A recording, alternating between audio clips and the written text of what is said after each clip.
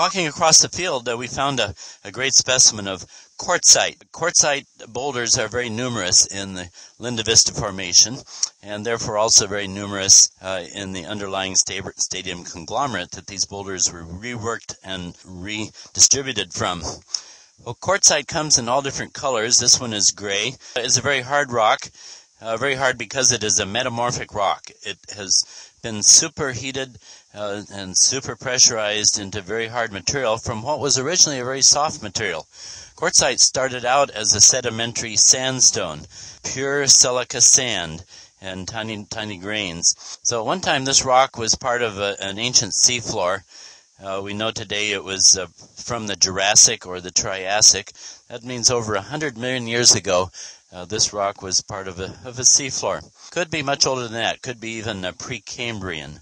After this uh, sandstone was deposited on a seafloor hundreds of millions of years later, uh, uprose a huge magma from the Earth's mantle. Uh, magma is a huge mass of uh, molten or igneous material originating down on the Earth's mantle, uh, very hot. Rose up into the Earth's crust. It's responsible for the superheating and pressurizing that caused all the little sand grains in the original sandstone to weld together into this very, very hard quartzite.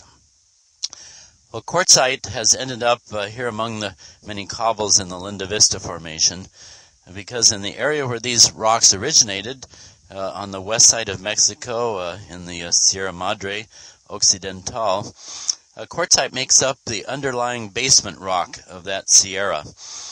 Basement rock there is thought to be Precambrian in age.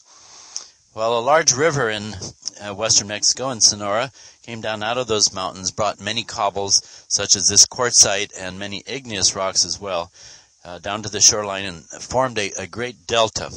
I have a, a needle in my hand pointing to an individual little extra white spot in this fresh fracture surface on our specimen of quartzite. It's extra white there because when you break a piece of quartzite, it fractures um, along a lot of little welded pieces of of silica sand. In this case, uh, the fracture goes under that little cluster of sand grains so that light is reflected from behind it. That special fracture pattern is very distinctive on quartzite and enables uh, you to recognize a piece of quartzite in the field without the, of a microscope. Uh, another striking thing here is uh, everything is very shiny and sparkling like a lot of little stars in the sky because that's light being reflected from many, many grains of very clear quartz. Quartz is crystal clear. Uh, when you're uh, in the field and you see a piece of this rock, uh, you can first tell it quartzite by the fact that the exterior, even on this very weathered surface, is very uniform in color and texture. It doesn't have the little speckles and the little different colored crystals in it that are visible on the volcanic rocks like rhyolite. Uh, here on the left, on a fresh fracture surface, we see a couple of other things that are distinctive to uh, quartzite. Uh, first, we notice things are very shining and glistening because uh, quartzite is made up of little grains of quartz sand, now all welded together by heat and pressure uh, from an invading magma or batholith that caused the heat and pressure to weld these sand grains together. See uh, these little white streaks.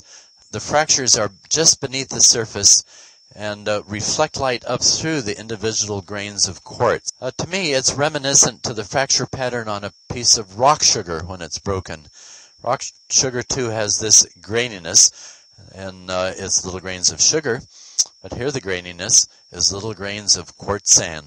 Well, finally, another distinctive thing on quartzite is that even though it's sparkly and smooth, if you rub, rub your finger over it, you detect a little bit of graininess. It's that uh, little hint of graininess from uh, the individual grains of sand that originally make up quartzite uh, from the sedimentary stone called sandstone.